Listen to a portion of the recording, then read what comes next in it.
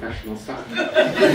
um, and I actually hold a thing called a Future Leaders Fellowship of the Next Generation of the Ring. design research, actually. And it, it's only when you say it out loud, it sounds a bit like some kind of sci-fi Lord of the Rings stuff Yeah, yeah. convention. yeah.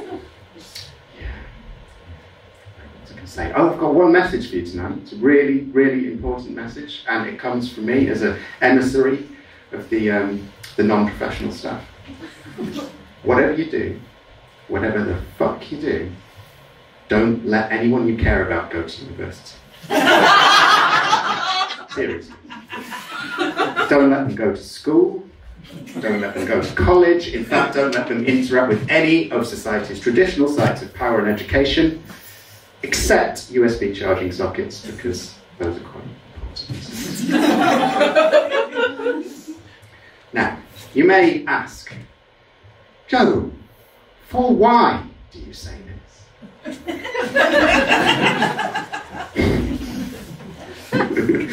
Are you not biting the hand that feeds?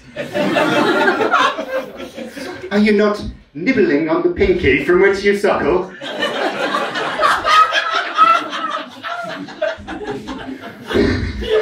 How do you propose to consume the Lilliputian morsels of sustenance which we've endowed you?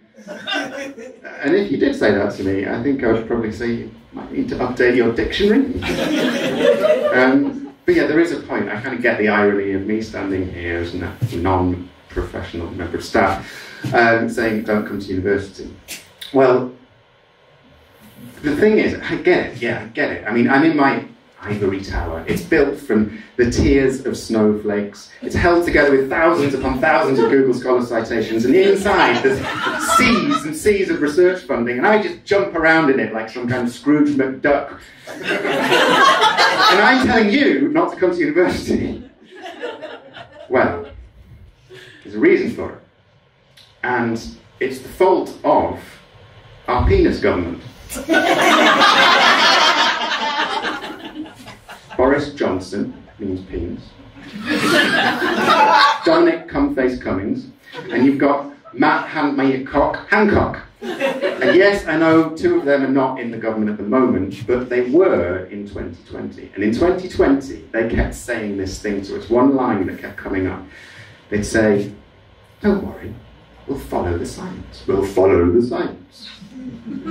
What does that mean? You can't follow science. Like, you can't catch science. You can't chase science.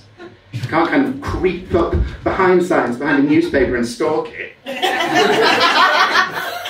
You can, by the way, creep up behind a scientist and stalk them. Our a popular HR department have um, advised against By the way, I've got a theory on Cummings.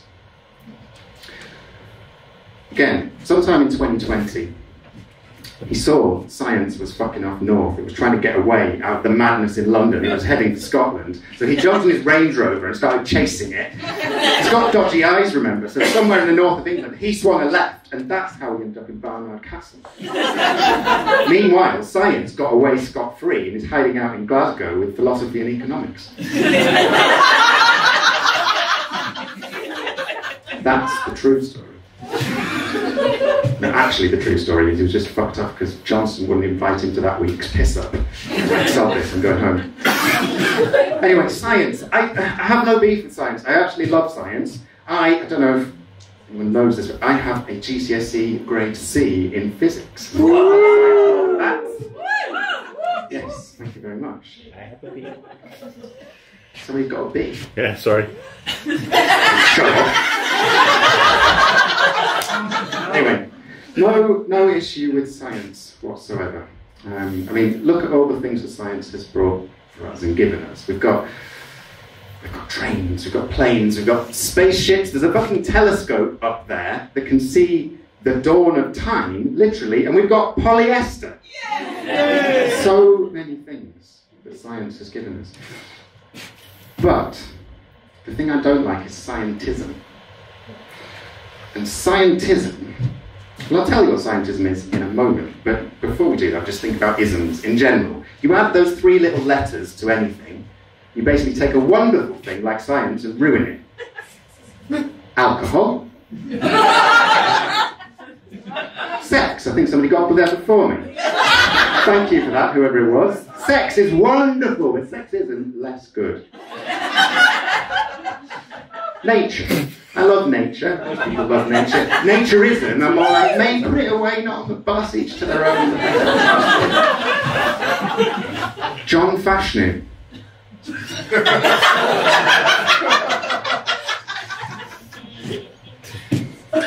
so, science and scientism is the same, it completely ruins it. And what scientism is, is the dogmatic belief that the only way of looking at the world is through science, through a scientific lens.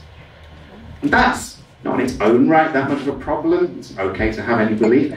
But this idea has infected the entire world.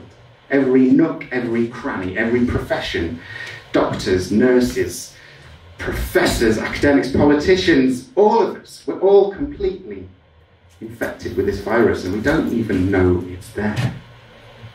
And it really becomes dangerous at this point. Even PE teachers are the only ones that got away, and there's no explanation for this, they are weird people, but the only ones that got away without the infection, TikTokers and YouTubers. Those guys are alright. Yes, science and scientism have a strange relationship. It's like science gave birth to scientism. You can't have scientism without science but they have such different characters considering they've got the same genetic makeup. Like if science met, you met science in a pub, you'd be like, hey man, how's it going? You want to measure some stuff? You got any hypotheses you want to test? and scientism would just look back, start frothing at the mouth, and be like, no, there's only one way, and I know it. And you're not my real daddy anyway. So, shared DNA, but very, very different characters. There's nothing on my arm at all.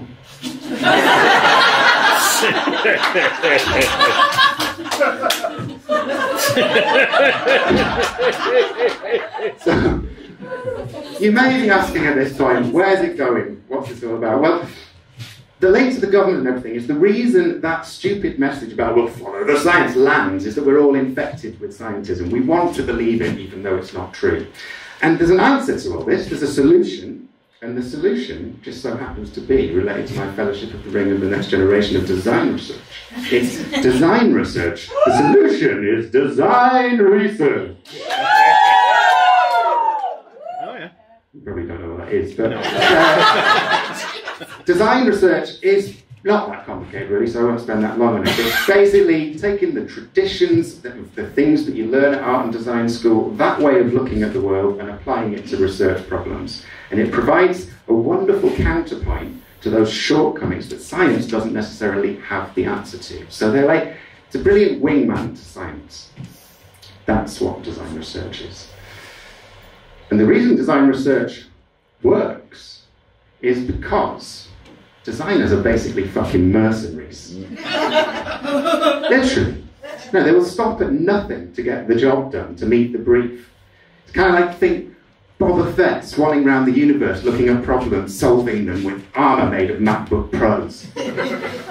Designers will stop at nothing to solve the problem. And it generally involves being a bit creative, being a bit artistic, but also being scientific and pragmatic. And when we're faced with you know, these massive global systemic problems, things like climate change, the impact of AI, geopolitical things like Russia, and most importantly, how to stop people being dickheads to each other on Twitter, then we need some kind of solution. And design research can offer that. So there you go. That's kind of leading me to the end of my lecture this evening, and that's the reason you can't let anyone go to university. But don't worry, we are working on it. At Lancaster University, we've got one of the world's leading design research labs called Imagination Lancaster. Ooh. I don't know who came up with the name, by the way. anyway, we've got one of the world's leading labs in this space, and we're trying to solve this problem. So once we've done it, we'll let you know, and you can come. now, I'm just, I'm just going to, so we've got a bit of culture this evening, I'm going to finish on a poem. Yay! assume you want to hear it.